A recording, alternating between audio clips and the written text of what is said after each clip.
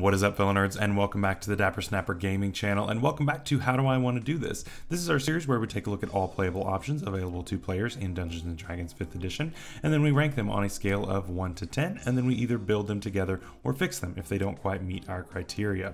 Now today we are talking about the College of Creation Bard, and of course building one together since we went ahead and ranked it on Tuesday. If you missed that video, it will be up in the iCard above right there. But I hope that you guys are ready to check this out because I am. If you are, make sure to leave a like on the video and subscribe if you haven't already. As you can see, the vast majority of viewers of this channel are actually not subscribed, so it really, really helps me out if you will subscribe. We're trying to get to 500 subscribers by the end of this year, and I think we can get there. So please help me out. It would really, really make me happy. It would make it would make my Christmas. We're trying to get to 500 by the end of the year, so please help me out. Also, make sure to click that bell right next to it to make sure that you are notified whenever new videos go live and share with your friends so that your friends don't miss out on any future videos as well. So the College of Creation Bard is a very unique take on the Bard, and it allows you to create items where most other Bards would definitely not be able to do that, um, and gives you some pretty unique abilities overall. It's, it's really, really cool. Now, I will say, I'm not super into Dungeons and Dragons lore, um, at least the greater lore of the universe, um, unless it is specifically within a specific campaign setting, or uh, if I've written a campaign, then obviously I'm into that lore. But um, the overarching, like, deep lore of D&D, not really something that I keep track of, um, so forgive me on that one. But one thing that I did notice about this subclass is that it mentions that this subclass is especially important to Dragonborns. And I thought, well, this Fizban's Treasury of Dragons just dropped, and I picked up my copy earlier this week, so yeah, let's go ahead and use one of those. So we're going to use one of the new Dragonborn races just to have fun with it. Now, I will say that this is definitely not an optimized build because the Dragonborn is not optimized for a bard. Um, the new Dragonborn is definitely more optimized for a fighter or a monk, somebody with a lot of attacks. Um, that's that's what you're looking for here, um, and unfortunately, this doesn't quite give that to you. But it is going to be a lot of fun playing one of the new Dragonborns because you get a lot of really cool stuff. If you're wanting to play Dragonborn and you're thinking about playing the old version, uh, don't because it's terrible. Uh, only play the new version, um, and so you get three uh, larger classes of dragon to choose from. You get the gem, the metallic, and the chromatic dragons. Now, I'm going to go with a gem dragon here because we are going with more of a uh, support build, utility build for this one, um, kind of being the, the jack of all trades, the one that's always got the magic key to whatever it is you need. Um, so we're a support build. We're not going to be necessarily the uh, biggest damage dealer here. So that's not what we're going for. Sorry if that's what you were looking for. Um, but so here's what we get. We get to choose from five different options of breath weapon here. Um, and it is tied to what type of dragon we are. So amethyst, crystal, emerald, sapphire, and topaz, each of them having a corresponding damage type. So with this damage type, your breath weapon, which is a 15 foot cone as a gem dragonborn, um, you can actually replace an attack with this anytime you take the attack action. Obviously, we only have one attack here, but on other classes, you could you could technically attack and then breath weapon within the same uh, within the same go. Um, but so your breath weapon is going to be of the type that you choose, and it is going to be a 15 foot cone based on a dexterity saving throw, which is based on your constitution. So definitely want to get constitution up as far as you can go, as quickly as you can go, um, and it is going to be very very helpful. It does 1d10 damage, and then it scales at each of your cantrip scaling levels. So that's one thing that's interesting is you kind of have a 15 foot cone Eldritch Blast now, which is really, really neat. Um, I, I, like that if you if you go with force or whatever else you want. Um, so it's it's pretty neat. I, I really like it. So obviously you would be resistant to whatever type you take. Then you get a couple of other things that are really, really neat. Um, you get one-way telepathy, which is really cool. Um, you can talk to other creatures telepathically just just in their minds.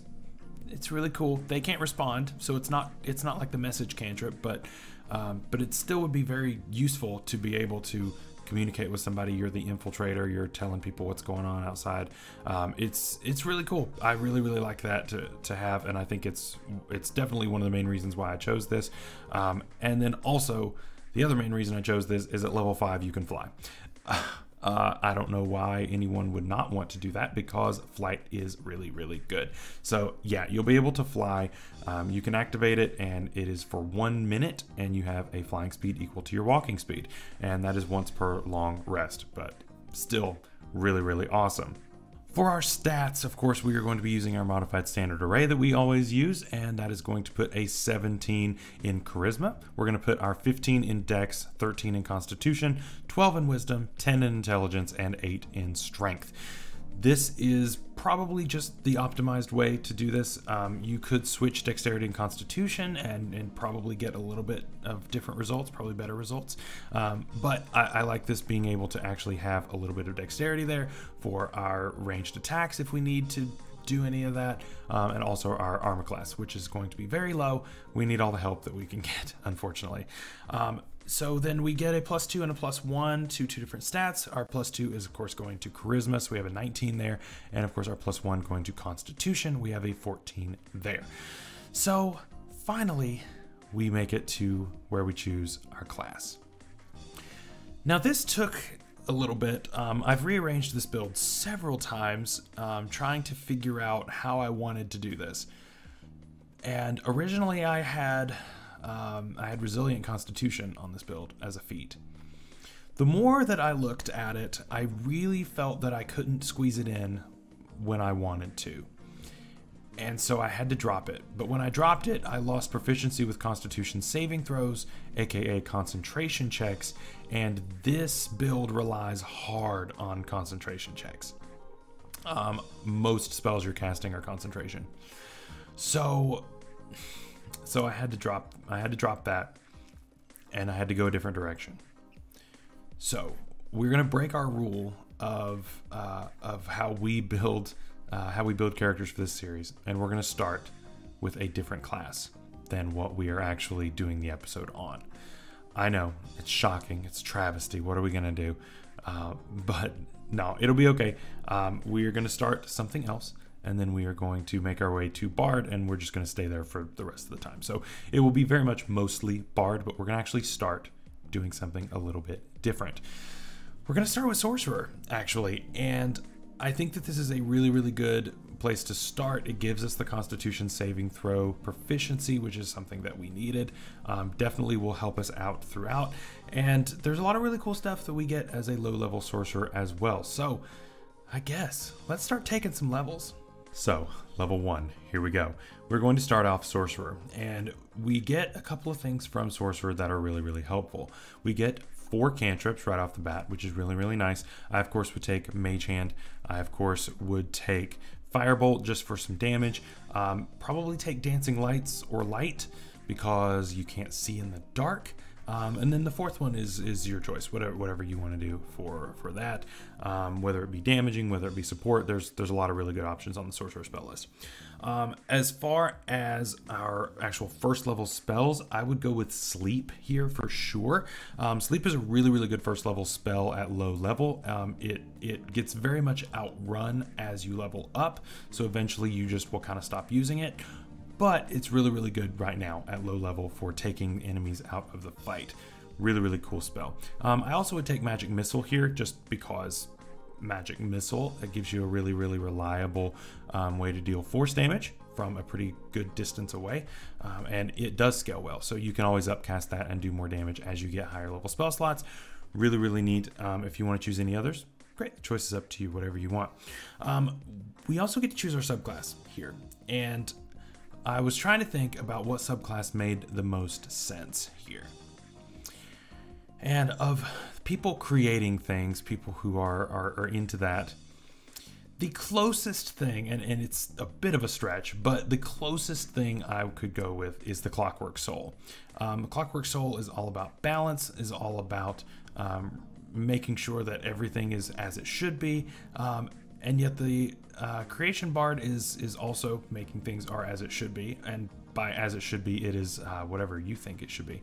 And so you're like i don't have this i make it. And so things are now as it should be. You're restoring balance. I'm going to say that you're a very sneaky very sneaky character um, morally questionable um, prob- probably on this one and um, probably pretty selfish. But it fits. It's there's there's a good arc to be had there. There's there's room for growth.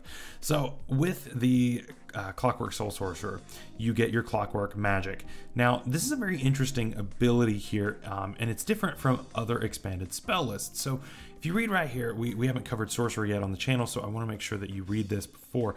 Um, but basically, it gives you more spells to add onto our list. We're only going to get the first version of it, so um, we're not going to get a whole lot of spells out of this, but it allows you to switch out these spells if you want from the from several spell lists from sorcerer, warlock, wizard, and you can switch them out for any spell as long as it is in certain schools of magic. I want to go ahead and tell you that the schools of magic that it gives you are perfect for what we are going for as far as a support build bard. Um, and it's it's a little they're a little selfish at least for now but it's going to be really really helpful for you in your survivability.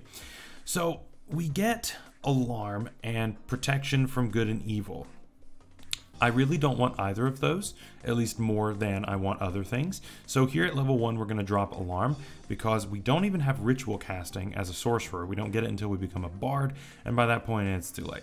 So we're going to go ahead and just go ahead and drop that and pick up Mage Armor instead. You're going to get a lot more mileage out of Mage Armor. Um, it gives you a 13 plus Dex as your AC, so that's going to boost your AC by 3 which any bit helps when it's this low. So yeah, it's going to help you quite a bit with your AC. It lasts for eight hours, non-concentration, really, really good spell. Um, we also get Restore Balance, which might just be one of the strongest level one features of any sorcerer. Um, it's really, really good. Um, basically, if you see a creature um, within within range, ally or foe, that is about to roll with either advantage or disadvantage, they're rolling two die, you can cancel it as a reaction, which is pretty great. So your fighter got shoved to the ground and now there's a melee attack coming in with advantage. Hmm, no, regular, regular attack. So that's pretty great. Um, or you have disadvantage for some reason. Maybe it's dark and you're blind and you can go ahead and take away that disadvantage, which is amazing. Um, this is an ability that will come up a lot, and this is an ability that you will definitely use, and it will absolutely save lives. Um, it can prevent crits where crits could have happened on the second roll. Um, it, it, can absolutely, it, it's very, very good for you to have. So, really, really great uh, features starting off. As far as equipment goes, just the standard stuff. We don't really get armor here because we're not proficient. Uh, and so we're just to pick up like a light crossbow and some daggers. Um, that's about it. Um, spellcasting focus, whether you want a component pouch or um, or a wand or whatever whatever it is that you want to do, um, that's all up to you as far as flavor. And then we go to level two. We're to continue with sorcerer here and we're going to actually drop protection from evil and good. Unless this is really really good in the campaign that you are in specifically i would drop it. And i would instead take shield um, now shield is my is my number one choice here because as you all know i love the shield spell. Um, it's very very nice. Um, you can either take it for this or you can take it as your third spell learned. Um, e either way and then it will give you a plus five to your AC temporarily until um, until your next turn, which is really really good. Um, as far as other spells to take, um, I would suggest taking something like Grease. Grease is really really good to have as far as battlefield control at low levels, um, or if you want something for damage, Chromatic Orb is always a really good option. At level 2, we also get Font of Magic, and this allows us to have two sorcery points, which we can convert to spell slots. So we will have two, and we will only have two for the rest of our career. So this is an extra first level spell slot, aka Mage Armor for free. Um, or shield for free, or whatever other first level spell you want for free. Um, I personally would just be like, okay, in the morning, I'm going to convert my sorcery points, and then a few minutes before combat starts, uh, or right before if you can, mage armor up. You're good for eight hours, um, and then you are you're good to go. And essentially, you have the same number of spell slots that you would have had if you hadn't cast mage armor. So, really cool. I really like that. Um, definitely, definitely go with that. Finally, level three here. We finally make it to Bard.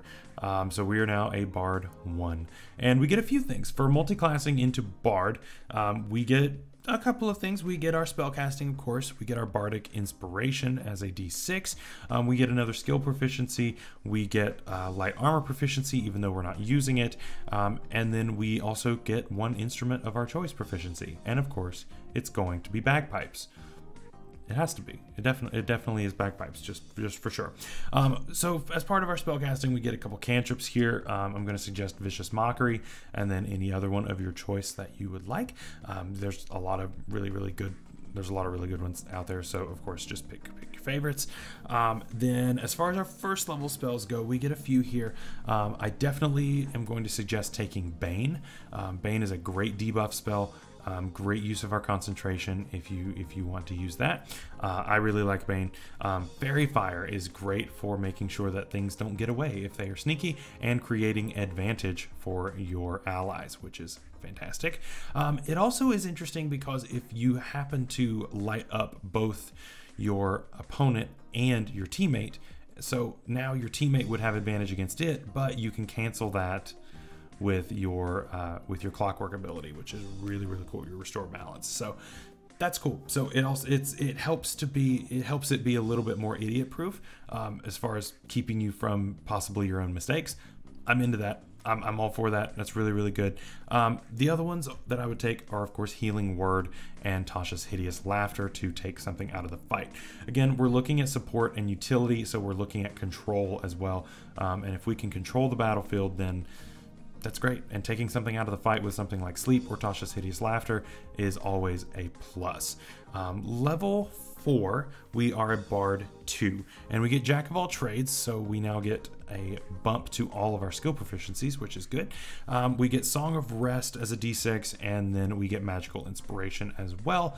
Really, really cool features. If you want more information about all of those, make sure to check out my Bard video from a couple of weeks ago. That'll be up in the iCard above there and we go into much, much more detail. Otherwise, this video would be like hours long. At Bard level 3, we get to finally choose our subclass, and we are, of course, taking College of Creation. So this gives us a couple of features here, Note of Potential, so we get a few extra little uh, things that happen when our Bardic Inspiration is used, and then, of course, we get Performance of Creation, which is what allows us to make these little items to help us out in uh, just causing shenanigans and causing heartache to our DM.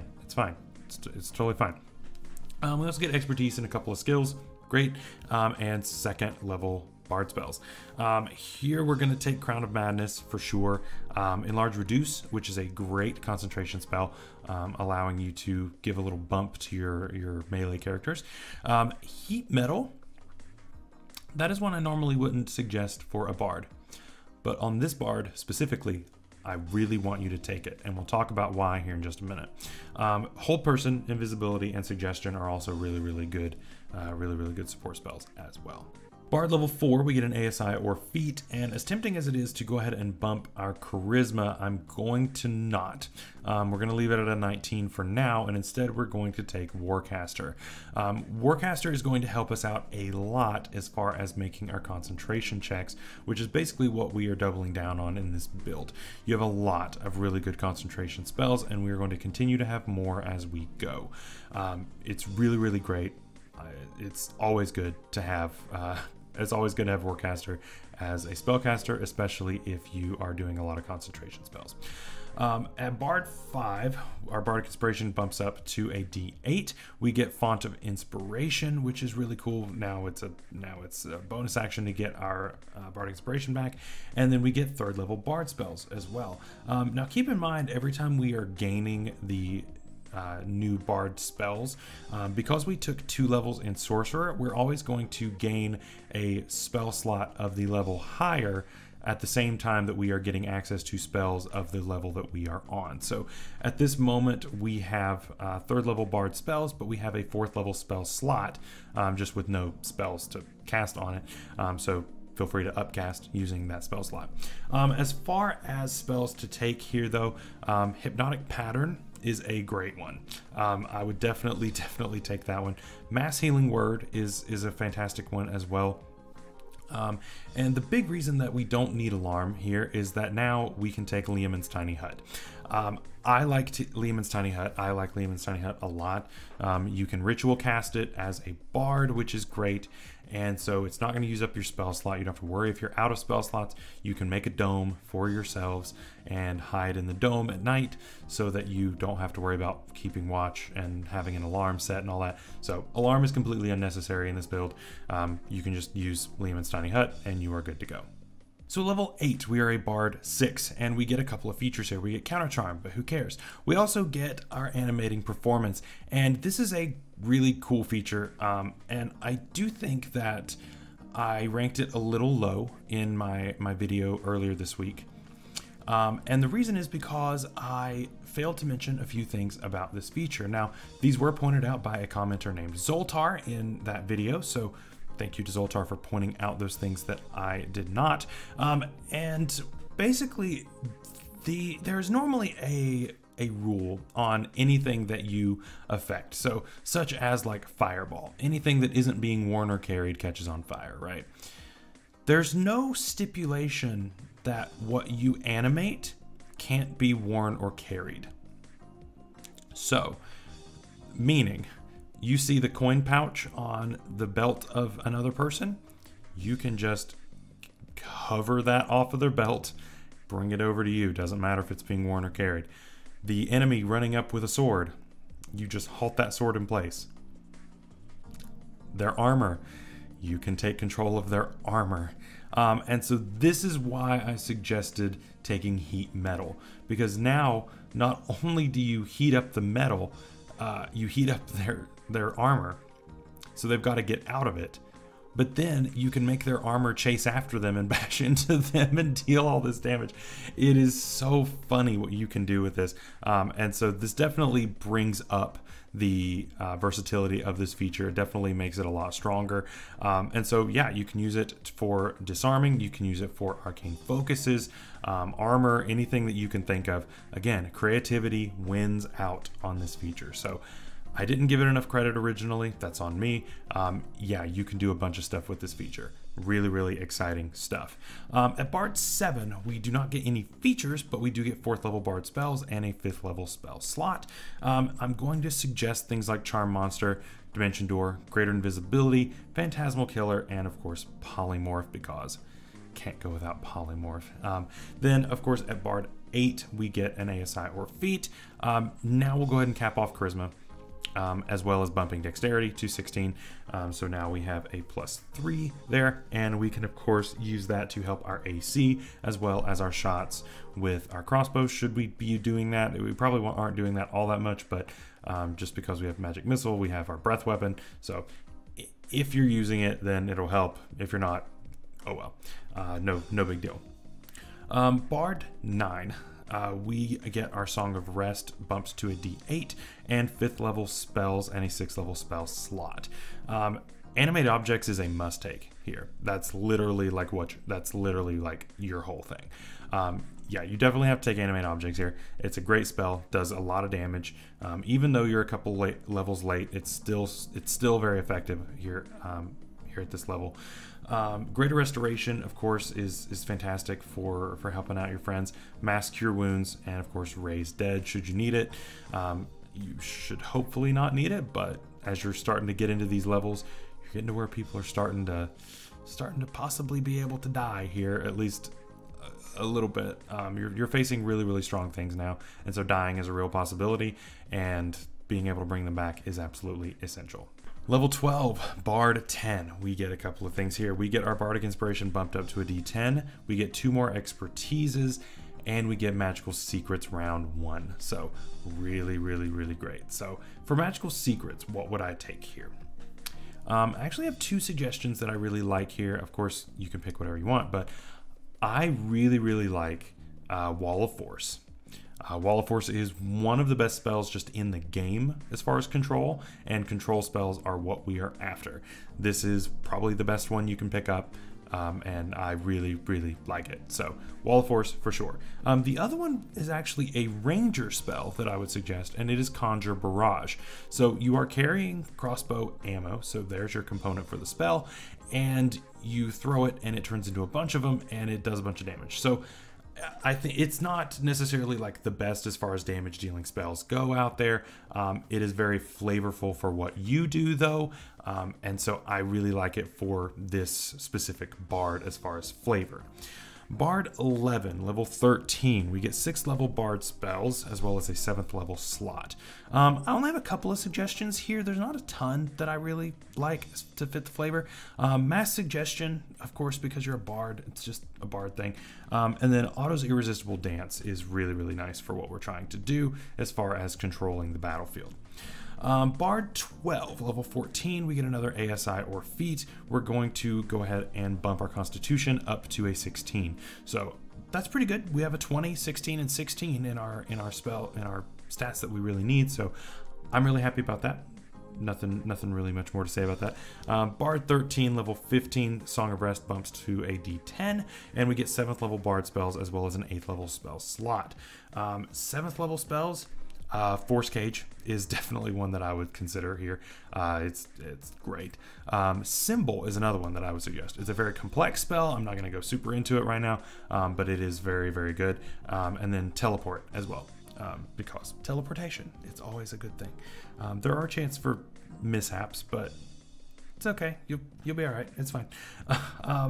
Level 14 uh, for Bard, level 16 overall. Magical Secrets and Creative Crescendo. So Magical Secrets, of course, we get to pick up seventh level spells and down any any two spells that we want. Um, Simulacrum. I mean, we're, we're a yeah, there's not a more perfect spell here than than that. Um, and also contingency. I, I would definitely take contingency here. It's just such a good spell, and it's really good for whatever you want it to be. Um, I would, of course, use it in a utility light, but you can do whatever you want with it. It's really, really nice to have. Um, and of course, Creative Crescendo, um, taking away the um, gold value restriction um, and just helping us out with what we make with our uh, with our main feature of creating performance. Um, at level 15 for Bard, 17 overall, Bardic Inspiration is finally a D12, which is great. Um, we get 8th level Bard spells and a 9th level spell slot. I have four here that are pretty good that I like. Um, Dominate Monster, I really like. Feeble Mind is really nice. Um, Mind Blank and Power Word Stun. Power Word Stun, I'm not as sold on, but um, the other three really, really nice. Would consider taking those. Uh, Bard 16, level 18, we are going to bump our Constitution again to an 18, um, preparing for whatever is coming at the end. We want to have as good of a chance to pass those concentration checks as we can. And you're going to be taking big damage, most likely. So, yeah, those concentration checks are going to be tougher to make. And so we need all the help we can get. Level 17 for Bard, 19 overall. We get our Song of Rest bumped to, D to a D12, and we finally get 9th level spells to choose from. Um, I would suggest here uh, Mass Polymorph. Power Word Heal, Power Word Kill, and Prismatic Wall. Um, Prismatic Wall makes a lot of sense with us creating the wall, um, and you, then you just like shoving people through it. It's really good. Um, it's it's especially good when you can just push people around. You don't really have a way to do that, but um, you know, get with a warlock that can push people with Eldritch Blast. Um, and and just push them through. If they want to get back to you, they have to walk back through it and take all the damage. Um, yeah, Prismatic Wall is uh, is great. Um, finally, level 20, Bard 18, Magical Secrets. Um, and we can, of course, choose two spells, any spells we want. Wish, of course. Um, but besides that, I also would suggest, and this is probably the only subclass I would suggest this, but Tsunami. You can create a massive tsunami out of nothing, and that fits our creation vibe. And that is our build for today. I hope you guys liked it. Of course, leave a like if you did, and comment letting me know what your favorite part about the build is. Next week, we're going to be talking about the College of Eloquence Bard, and that is going to be a ton of fun. So, of course, make sure you are still subscribed so that you don't miss that. Um, and we're going to have a really good time with that.